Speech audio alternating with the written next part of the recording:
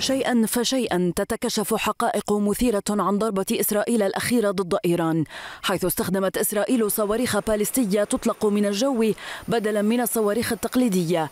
وكالة رويترز كشفت أن هذا الأسلوب غير المعتاد أثار دهشة المراقبين وزاد من تساؤلاتهم حول تطور الأسلحة الإسرائيلية. هذه الصواريخ تتميز بسرعة خارقة وقدرة على اختراق الدفاعات مما يجعلها خيارا غير تقليدي مقارنة بصواريخ كروز البطيئة التي تفضلها القوى الكبرى عادة.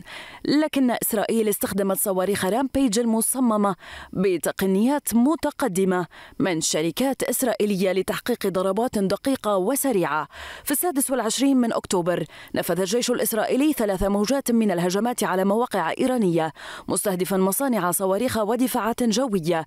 صور الأقمار الصناعية أظهرت أن المواقع المستهدفة تشمل مبان لها علاقة بالبرنامج النووي الإيراني مما أضاف بعدا حساسا لهذا الهجوم.